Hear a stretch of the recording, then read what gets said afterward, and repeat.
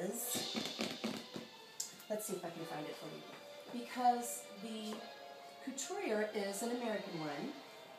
She passed in 1953, but her name is Jessie Franklin Turner. And she was one of the premier American female couturiers who did her own designing. She didn't copy from France. And so it's it's kind of exciting because it obviously oh I shouldn't do. Anyway, it's exciting.